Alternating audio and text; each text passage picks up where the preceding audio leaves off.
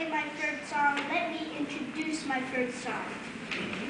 It was, it was a, it's a song I composed, and uh, it was inspired by some of Bach, Mozart, and Be- Ludwig van Beethoven's symphonies. This is called Symphony Number One, and I am now currently unfinished, but I will be playing another version of this next June.